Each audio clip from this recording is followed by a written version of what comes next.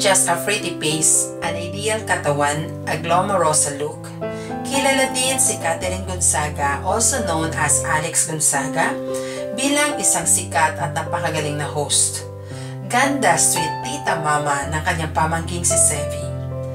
Sweet sister ng sikat na si Tony Gonzaga at super makulit daughter din. And now, a soon-to-be bride of her partner fiancé, Mikey Morada.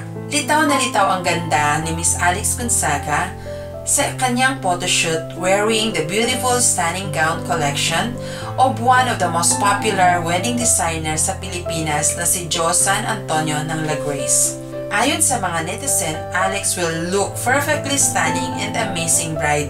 Suot ang isa sa mga wedding gown na ito.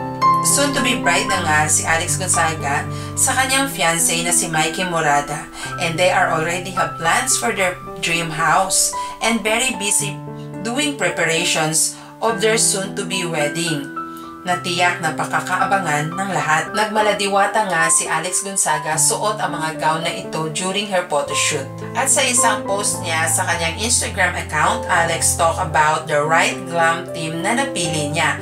She said, Find a glam team who will fight, argue to achieve your look.